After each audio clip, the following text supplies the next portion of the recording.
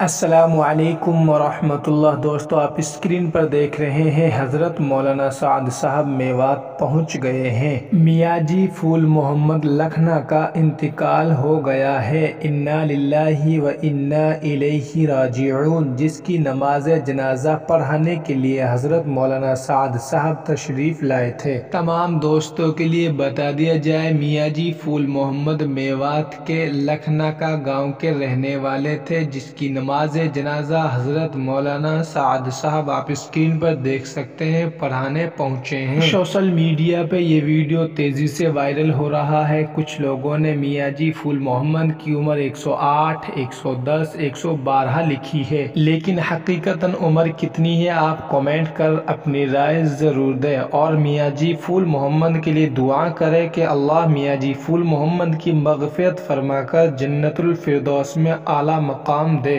आमीन लिखते हुए कमेंट में इस वीडियो को ज़्यादा से ज़्यादा शेयर करें। शुक्रिया।